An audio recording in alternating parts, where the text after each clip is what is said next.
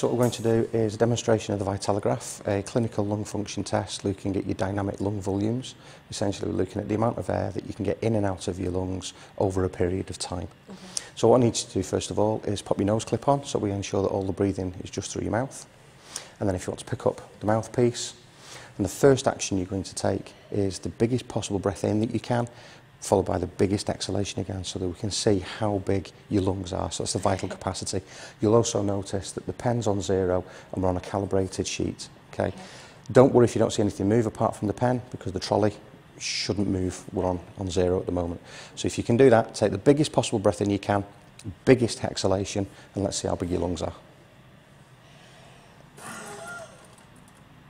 Excellent. Thank you very much. So you saw the pen come up on the chart recorder, you can see that it's made its indentation and you've got a vital capacity of 3.85, is that? It's just short of 3.9 litres. Yeah.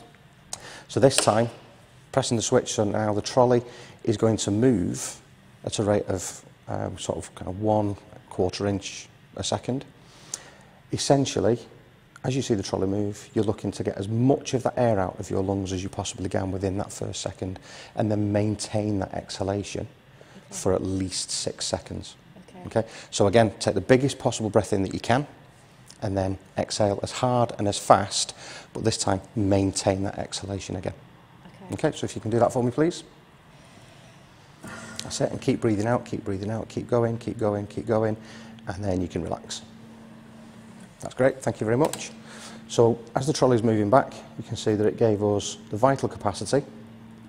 And then you can also see that as you were exhaling and the trolley was moving, by the time you got to one second, you'd moved 3.6 litres of gas out of your lungs. Yeah. So it's indicative that you've got about 70 to 80% of the air out of your lungs, which shows a healthy lung function. And then as we follow further over, you can see you get your forced vital capacity, which is coming close to four litres. Okay. Excellent. Thank you very much.